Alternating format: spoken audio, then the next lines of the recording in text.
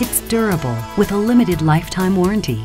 It's flexible, able to fit your space and your style.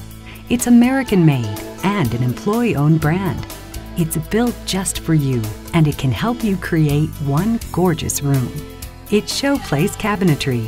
So when you're ready to get started on that new kitchen or bath, come see us. We'll show you how easy it can be to have a showplace of your very own.